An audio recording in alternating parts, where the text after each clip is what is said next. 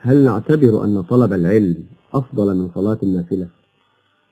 هذا القول ليس حديثا مرفوعا إلى النبي صلى الله عليه وسلم وإنما هو من قول الإمام الشافعي رضي الله عنه. فقد أثر عنه أنه قال ليس بعد الفرائض أفضل من طلب العلم. قيل ولا الجهاد في سبيل الله؟ قال ولا الجهاد في سبيل الله. جاء ذلك. في عدة مراجع وهذا في الجهاد المندوب. أما المفروض فهو داخل في الفائض لا يقدم عليها النفل كطلب العلم. والله أعلم.